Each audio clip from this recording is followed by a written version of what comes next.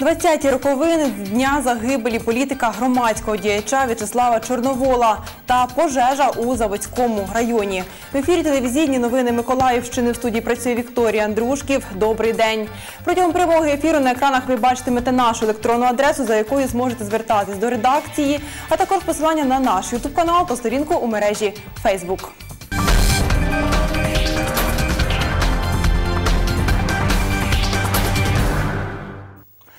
Покладання квітів та виконання гімну наживо. Сьогодні миколаївці відзначили 20-ті роковини з дня загибелі політика громадського діяча В'ячеслава Чорновола.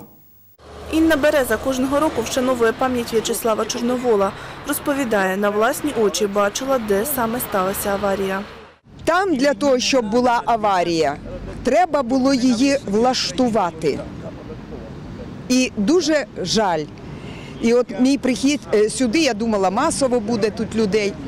е, Теж пов'язаний з тим, я кожен рік це роблю, що хочеться, аби судова влада, аби просто влада довела до кінця справу з Чорноволом. Її то закривають, то відкривають, а злодії не покарані.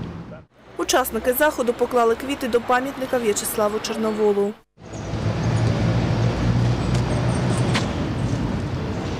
sevdim bana. Yine bu.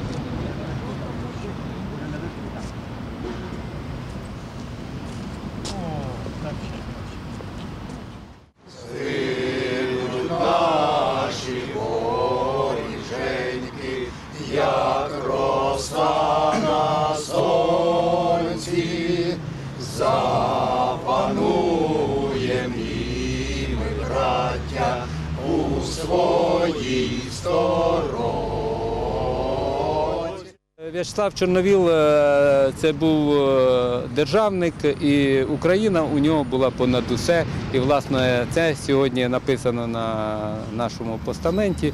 І він завжди казав: не питай, що ти зробив е, що зробила для тебе Україна. Скажи, що ти зробив для України. Ми ну, закликали всіх миколаївців прийти вшанувати В'ячеслава Чорновола покладанням квітів. Е, Ми теж, хто мав можливість сьогодні підійшов, е, було запрошення і до міської, і до обласної влади. Я думаю, що хто не зміг на цю годину, пізніше зможе підійти. Загалом у заході взяли участь 17 миколаївців. Вікторія Чернявська, Юлія Кускова, телевізійні новини Миколаївщини. Нагадаємо, 25 березня 1999 року В'ячеслав Чорновіл загинув у дорожньо-транспортній пригоді. Детальніше про цю подію та життєвий шлях політичного діяча дивіться у сюжеті наших колег з UA першого. 1999-го на його похорон прийшли десятки тисяч людей. Утім, попрощатися особисто могли не всі. Черга до труни, яка стояла у київському будинку вчителя, розтягнулася до Хрещатика, до Володимирського собору. Домовину несли на руках. Жалобна процесія розтяглася на півтора кілометра. Так останню шану віддавали В'ячеславу Чорноволу. Він народився 1937-го на Черкащині, вступив до Київського національного університету імені Тараса Шевченка на філологічний факультет. 1955-го потім перевівся на факультет журналістики. Університет закінчив з відзнакою, потім працював на львівській студії телебачення. Згодом переїхав назад до Києва разом з Василем Стусом та іншими представниками української інтелігенції. Він започаткував рух шістдесятників, що протистояли тоталітарному режиму, виступали за відродження української мови та культури і державного суверенітету. Три місяці примусових робіт за відмову свідчити у суді над братами Горенями. По тому три роки ув'язнення в таборах суворого режиму за книгу про арештованих 1965-го шістдесятників. Після звільнення Чорновіл починає видавати журнал Український вісник, де знову ж говорить про національний опір. У 72-му його знову затримують і засуджують до шести років таборів та трьох заслання. По тому акції протесту та голодування, боротьба за статус політв'язня. А 1980-го новий арешт за сфабрикованою справою. 120 днів голодування за три роки звільнення без права в'їзду в Україну. Сумарно пробув у неволі 17 років.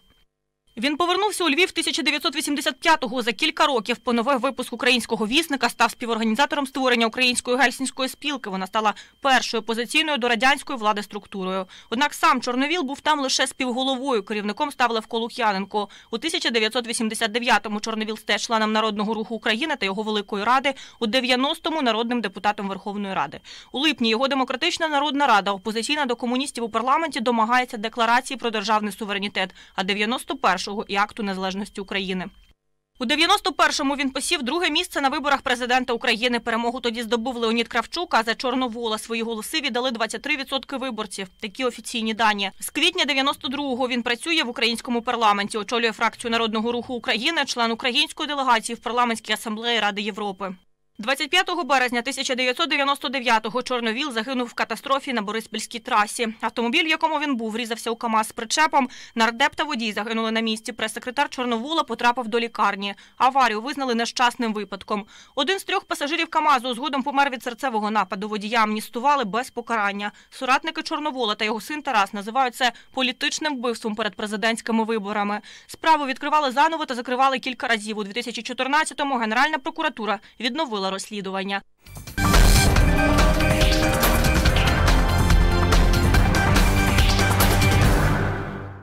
Вчора, у неділю, 24 березня, у Заводському районі міста Миколаєва сталася пожежа. У мікрорайоні на мию спалахнули зарослі очерету.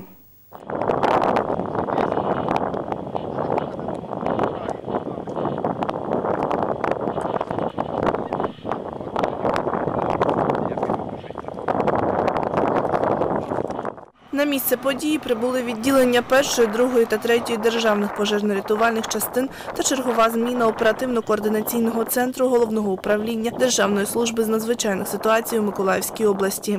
О 12.59 надійшло повідомлення про пожежу очерета за адресою вулиця Лазурна. До місця пожежі було направлено перше відділення третьої державної пожежно-рятувальної частини. По прибуттю до місця пожежі було встановлено, що горить очерет. Приблизно площадь становила 2 гектари.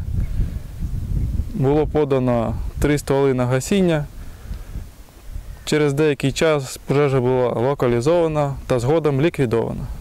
Пожежу гасили протягом двох годин. До ліквідації залучили 4 одиниці техніки та 16 рятувальників. Причина займання встановлюється. За попередніми даними, пожежа виникла у зв'язку з підпалом. Вікторія Чернявська, телевізійні новини Миколаївщини. На цьому я з вами прощаюсь. Бажаю вам гарного продовження дня. Наступний випуск новин дивіться о 17.00.